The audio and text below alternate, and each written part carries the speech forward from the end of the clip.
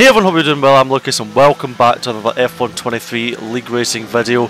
And today we have WOR round 5, I think, around Mexico, um, which took place, uh, I think, two days ago now as I'm recording this. So without further ado, we're going to get straight into it, starting here in Q1. Um, yeah, you have three to five business days before the first braking zone, so you have a little bit of time to think about what you're going to do. Um, um, anyway, here we are at the braking getting onto the brakes now. Not quite getting enough um, bite into the first apex, but getting a relatively clean run through the uh, the rest of the apex. It's quite a tricky first sector to get nailed, but I don't think it's as bad as in uh, previous years. Um, with how you have to sort of cut the corners, there's a little bit more optional uh, this year. Um, coming through now this sector two. Um, for some reason, a sector that I've never never really excelled in, um, whether it's driving style or just the way I have like my wheel rotation or my uh, brake setup. I have no idea, but it's just never been a super strong sector for me. Um, but however, coming towards sector three, which is a sector that um, I can be quite strong in. Um, heading through here now, super easy to invalidate. We're actually extremely close to doing so there. Getting a bit of getting a good bit of rotation to get us through that hairpin. Um, we have just one more corner to negotiate. Very tricky to get on the power, even on this game, where it's a bit easier than in the past. Oh, uh, coming to the line now, um, a pretty sloppy lap overall, not quite hooking it all up, but it is more than enough to get us through very easily. Um, into Q2 with just the one run. Um, so yeah, cutting on now to the first run of Q2 um, starting the lap. It's always weird because the delta doesn't always start the lap at the exact same point, so sometimes you gain or lose time based on your delta once you actually get to the line. Uh, but coming towards turn 1 now, will we get it better than the time before? Mm, not by much, if anything, not very not very good actually through there. Um, getting a good exit, getting a good exit out of uh, sector 1, but um, losing time compared to our used tyre run and again you can just see the front pinch a little bit with a bit of under rotation going into the start of sector 2 and we actually you know we're not gaining time whatsoever. In fact we're losing quite a chunk. Um, we're half a tenth down compared to used tyres. So not a great start to that but immediately here heading through sector 2 we are starting to gain a good chunk of time back as we go for the big cut through there and we get it nicely done. And finally we gained a bit of time back but we've got a little bit of work to do here coming towards sector 3 not quite getting to the apex as you would like but getting really nice rotation through there really optimizing that section into sector 3 one more corner to negotiate getting it down to third gear putting on the power keeping it tight and we get a nice sector 3 to round out the lap last sector from oh, cracks in the last oh, yeah, yeah, I was about to say what happened in the? I'm, mate, I'm not even kidding. It's actually slower on new tyre through that first sector. You have no front, yeah. so much understeer. well, with all that said, we are.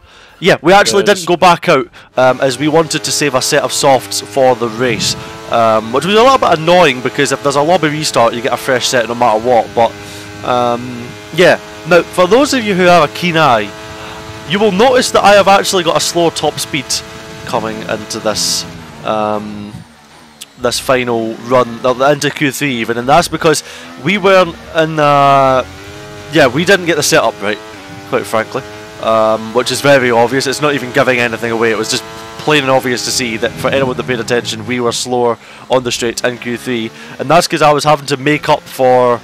Um, something that we quite frankly miss, which is quite embarrassing. But here we are now trying something new now um, for the very first time in Q3, which is always a interesting experience. Um, nice and clean though through the middle sector. Um, coming now to get DRS open. And where we're going to be coming into set 3 is a 9-8 split, which is nothing, nothing good. Um, you know, heading through sector 3, getting that rotation, not quite setting up the exit perfectly though, but we get a horrible exit out of there one more corner to negotiate and we're going to try and tuck ourselves into the line and what's it going to be coming towards the line it is actually a 7-8 if I went P1 with that which wasn't a clean or amazing lap but right. obviously yeah, we didn't expect it to stand as Nico now um, improves by a few hundreds. But here we are now coming to the line um, to start our final attempt. And uh, yeah we need we felt like we needed a good chunk of improvement as we weren't really happy with that lap that we just done whatsoever. So yeah, heading into our final run now.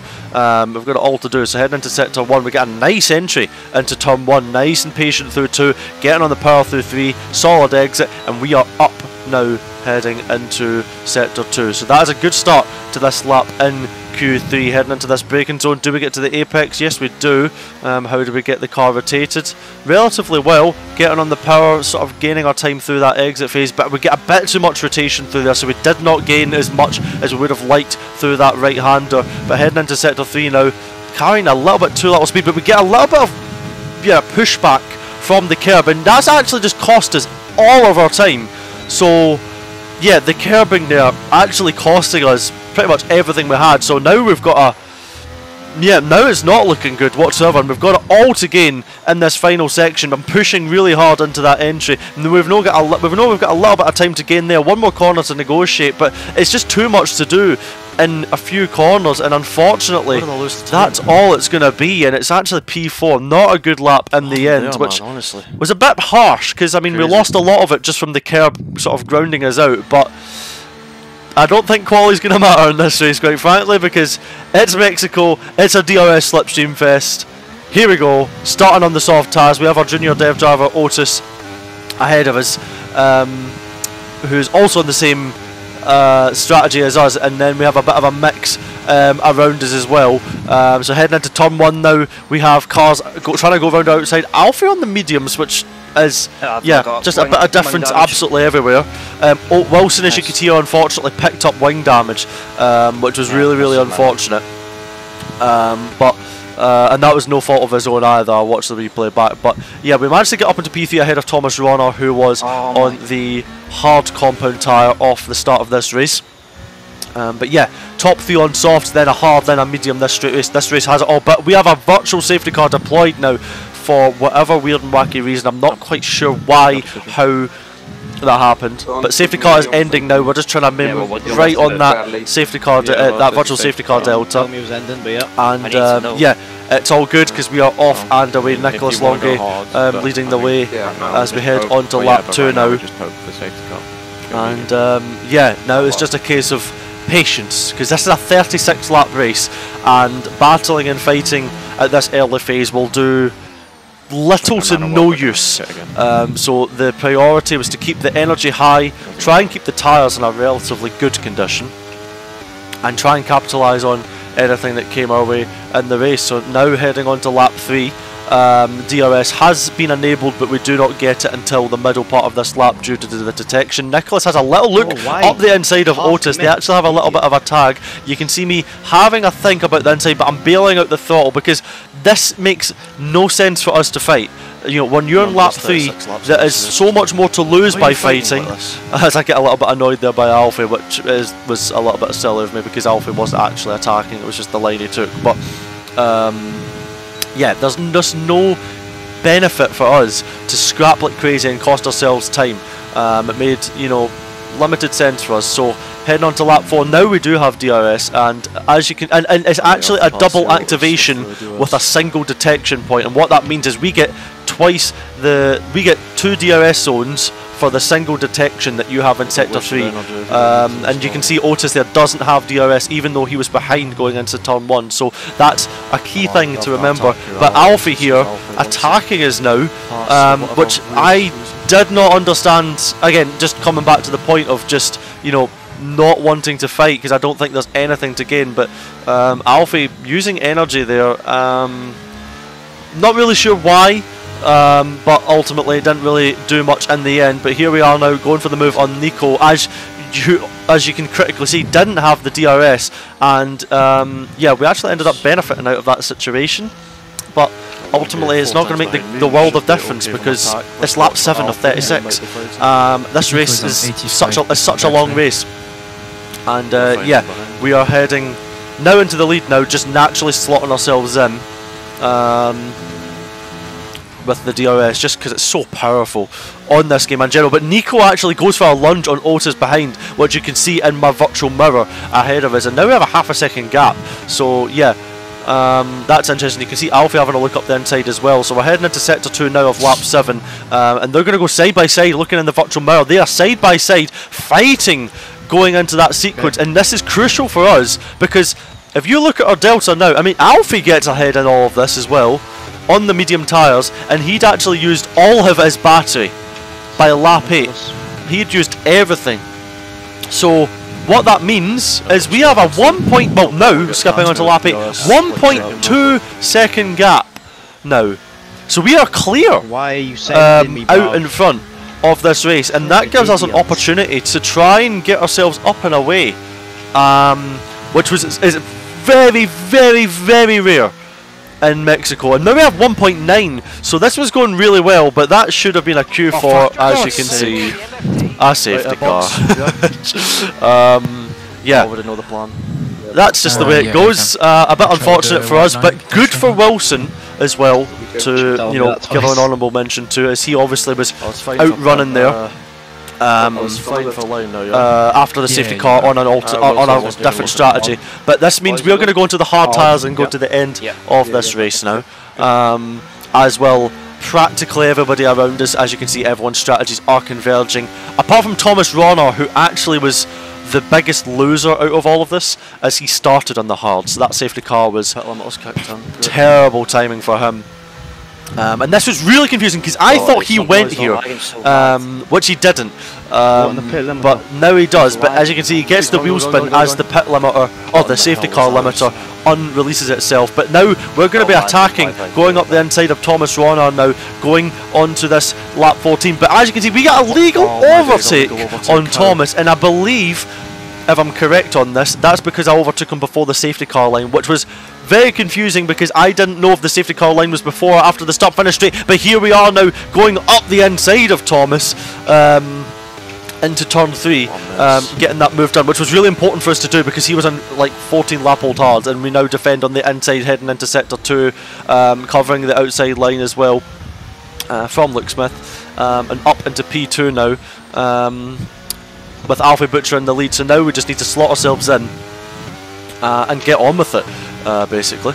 So yeah, onto lap 17 now, as you can see. Fabrizio Donoso on soft, as you can see, On um, 40%. was actually on a two-stop strategy. Sure Um, so he would have to pit again, but now we take the lead on lap 17, and yeah. That is now. Uh, this is going to be a bit of a game of a cat and cat and mouse now for the remainder of this race, um, as it's just going to be a bit of a relentless yo-yo um, with the DRS just trying to save his energy.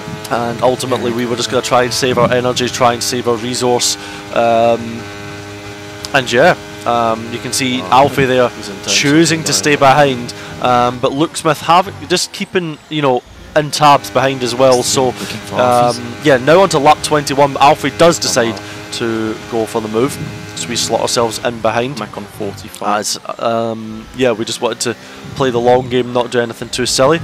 Um, heading on to the exit of turn three now, but as you can see now, Luke Smith opting to go for the overtake. Now we do not have the ER, the DRS, but you can see I turned my energy off because it didn't really make sense for me to burn my resource to lose this position. But we actually get a bit of a tag on the right hand side, which you cannot see on Oh, the on, the that's not a onboard. warning, but bro. that warning there was Let's get T-boned out the incredibly so unfair, given that we lost Lord knows how much time, um, and albeit the offboard doesn't show. Uh, sorry, the onboard. Sorry, um, Okay, stay behind for one more doesn't show it. Um, we got a bit of a tag on the right hand side, which you might see at the end of the video if it's included in the um, in the footage or not, but I can't really remember. But we actually got a little bit of a tag on the right hand side, um, so that was not ideal. But regardless of that, that warning was a bit ridiculous because we didn't exactly gain I'm at 20. absolutely anything. So yeah, to me that should be on um, removable. um, for if we got a penalty. What? I Um, didn't get it. I was in the But foot. yeah, Luke Smith getting overtaken then re-overtaken, I believe, as we skip on to lap Yeah, 25. I now we're we really are there going up the so- inside Over um, of Alfie Butcher, which we choose to bail out of, is again just doesn't make sense for us to fight this. We don't want to be wasting energy at this phase in the race. You know, you might be thinking, oh well, it's lap 25. Maybe you want to start getting your elbows out. No, because fighting now can just bring. The, I mean, for Fabrizio's on a two-stop. You fight a lot, it brings him into it. Um, you know, this is it, there's no logical sense just to waste everything. But now we are going to go up the inside of Luke Smith as he doesn't have DRS, and it did make sense for me to get past him as we give him a little bit of a you know a run out through the turn 1 to 2 transition, and that is us into P2, slotting nicely in behind Alfie, as. They're actually they Uh, were momentarily situation? three wide there behind. Um, so yeah, but now 10 So, laps to go, in P2, good battery reserve, and P4 we on can just mediums. pace this Um, nice and patiently behind Alfie Butcher ahead of us as Nicholas actually gets himself up into P3 behind us. Onto lap 28 now. We are probably going to retake the position on the Alfie. Our battery is practically entirely full um, as we slot ourselves into P1 now um, on lap 28 and then on lap 29 shot horror Alfie's going to take it back the shake and bake well and truly in effect now this is just the most log but this is logical this is effective racing you know you're managing your battery you're you know not costing yourselves race time. um, and yeah you're just playing the game all the way until you sort of have to start racing towards the end. Um, and you can see 96% on battery, so we were very comfortable on our energy waiting towards the end of this race. Um, Alfie dropping retaking the position onto lap 31. You can see a recurring theme occur uh, here, shockingly. Lap 32 now, and yeah, we're going to take it back. This is getting quite repetitive, um, but yeah, now getting towards the crunch time as we are on lap 33 Oh, now. so silly from me. Um, Alfie has a look up the inside, but Nicholas now getting closer and closer as well. Um, and now it was crucial for me at this point just to keep a bit of sixth sense going, just to make sure that I wasn't going to get um, overtaken here. So that's why you can see me use a fraction of ERS um, on the exit. Is I didn't have the DRS ERS, uh, sorry DRS uh, just in general there. So I didn't want Nico to slingshot past. Um, heading on to lap 33 now we actually get a little bit of a tag there from Nico um, which is a little bit of deja vu because the exact same thing happened in esports. Um, just pure coincidence which is quite funny actually. Um, but yeah nothing nothing bad there. Um, but yeah heading on to lap 34 Nico opting to use a little bit there um, as we now head to well we have a little look up the inside of Alfie Butcher. I decide not to go for it and neither does Nico as it just didn't make I just didn't think it was worth taking the lead on this point but we do get a bigger tap this time from Nico um, which thankfully wasn't of Oh, any um, these mediums must detriment be dead, surely. uh, and it to cost us anything. So it was all good. These things happen. I've done it in the past myself, to be fair.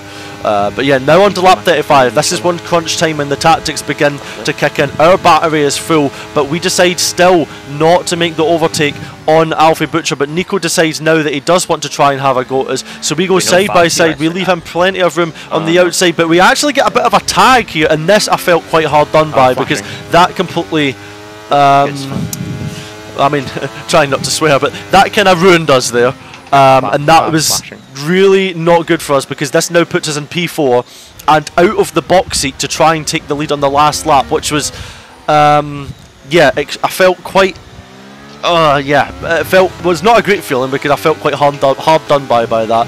Um, I felt like you know that's it was just a little bit tough, but um, that's just the way it goes, unfortunately. Um, so yeah, on lap four, uh, sorry, lap, lap four, because we're on P4 now with a lap or so to go, um, and we actually have more energy than any of the cars ahead, um, which is even more infuriating as we're not able to use it. Um, you know, when you're in P4, you're sort of jammed in.